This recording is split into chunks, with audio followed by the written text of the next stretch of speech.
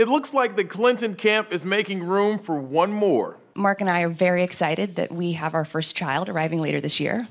And that was Chelsea Clinton making the surprise announcement Thursday alongside soon to be Grandma Hillary at a Clinton Foundation event titled No Ceilings, the full participation.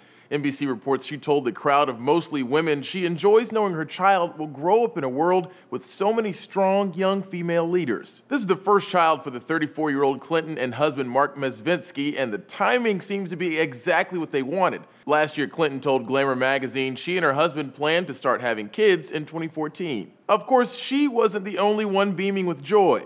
Since all the Clintons are on Twitter, it didn't take long to get reactions from the former POTUS and First Lady. And how's this for solidarity? President Clinton and Hillary sent out nearly identical tweets just minutes apart celebrating the news and their new titles. The announcement comes just days after Fast Company published an article saying Clinton is leaving the door open for a career in politics. She told the outlet, I live in a city and a state and a country where I support my elected representatives. If at some point that weren't the case and I didn't support my mayor or my city councilwoman or my congresswoman or either of my senators, maybe then I'd have to ask and answer the question for myself and come to a different answer. And to further the speculation, CNN's Tom Foreman posted this tweet asking if the unborn Clinton baby will be a candidate in 2049.